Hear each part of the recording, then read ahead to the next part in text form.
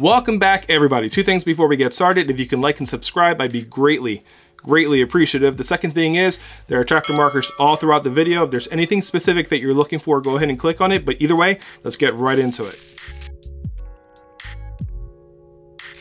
Today we have the Jordan Tatum 2, the follow-up to Jayson Tatum's first signature shoe, the Tatum 1. When it comes to signature shoes, you really don't know what you're going to get from one shoe to the next. Obviously, Jayson Tatum's line is very early in its life, but going from the one to the two, it isn't looking to do a drastic redesign.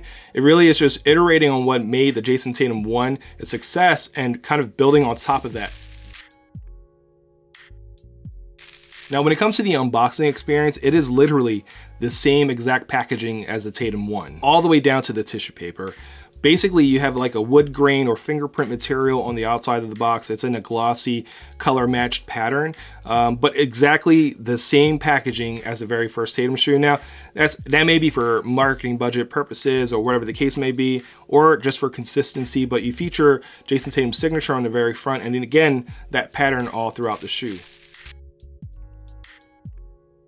Now when it comes to the design of the Tatum 2 and its launch colorway dubbed Momma's Boy, it features an all-white, relatively clean upper with calla lilies printed all throughout. It features hits of Volt, Hyper Pink, and splashes of black on the tongue and the sock liner. Structurally, the Tatum 2 is very similar to the Tatum 1 in that they brought a lot of those design cues over from the Tatum 1 that really worked for the Tatum 1. For instance, that foam structure that was on the lateral side of the Tatum 1 is now on the Tatum 2 in the form of two foam pods on the lateral side and the medial side. Now, obviously that's functional design because it's a design aesthetic, but also functions as containment for your foot. From a design perspective, I think the Tatum 2 is a very good looking shoe. The side profile, the top down view, the silhouette of the shoe, it's just very good looking. This colorway particularly isn't one of my favorites, but I'm really intrigued to see what they do with the colorways and the stories they tell.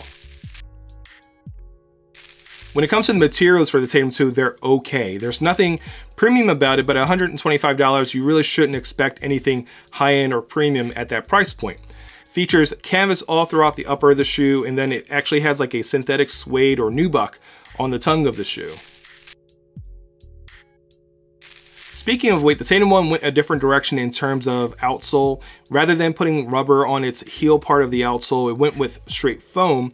And what you sacrifice is some durability for the outsole and really just wearing that down, especially if you're playing on outdoor courts. But what you get in return is less weight on the shoe, which means you know faster recovery, more stamina when you're playing. The Tatum 2 brings back rubber to the heel of the shoe and in the form of two pods, one on the forefoot and one on the heel, but it also features a hard rubber outline around those pods and then a rubber tip on the actual toe box. Now with the added rubber on the outsole, it actually took the Tatum 2 to 15.8 ounces over the 14.6 ounces from the Tatum 1 respectively, and those are both in a size 12 in my experiences in playing in the Tatum 2, I didn't have any issues with fatigue or stamina or anything like that. But also, I don't have a one-to-one -one comparison because I never actually played in the Tatum 1. Now, when it comes to the fit of the Tatum 2, they fit surprisingly well. Going true to size, I really wasn't sure what I was going to get, but getting them on foot for the first time, it was almost perfect. Now, obviously, I'm a wide footer. For anyone with narrow feet or normal size feet, you're probably going to have some issues with a lot of room in the toe box and in the shoe itself. So you're probably going to want to try these in store before actually making a decision to purchase. Over on the containment side, I had some initial issues with the heel slip, but tying my shoes a little bit tighter than I normally would fixed that problem right from the start. But playing in the shoe, my foot was securely on the footbed. I had no issues with my foot slipping off the footbed or anything like that. So containment was actually pretty good.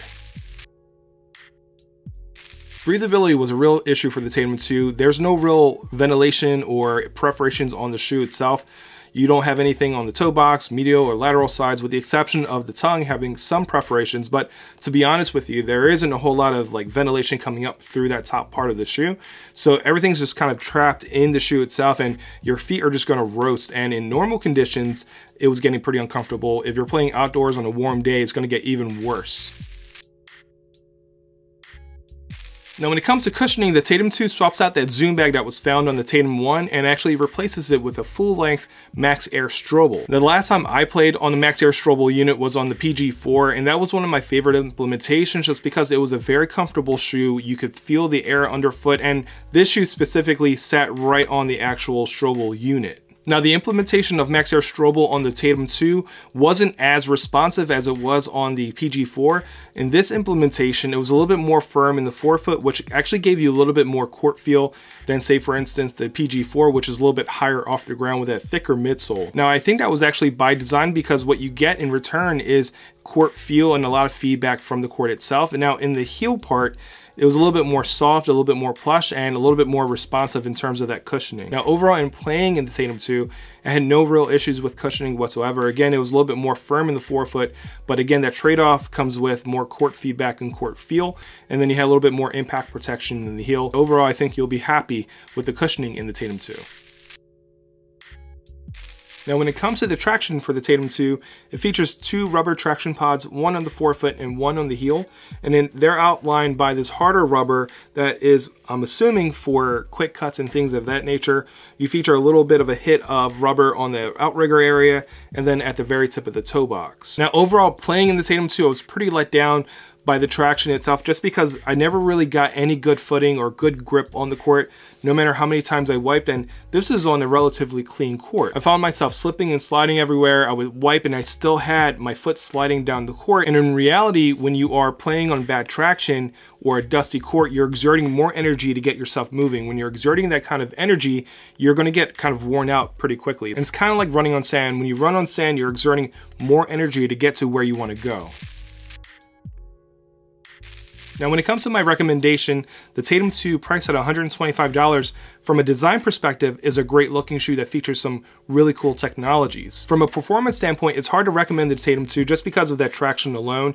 In my opinion, it is a deal breaker. Again, priced at $125, it's not gonna break the bank, but I think there are better options available at similar price points. That'll just about do it for this video. If there's anything you wanna know about the Tatum 2 or anything that I missed, please leave a comment. If you like this video, like it. If you didn't like it, dislike it. But if you really, really liked it, hit that subscribe button. Thank you all for watching and you have a good day.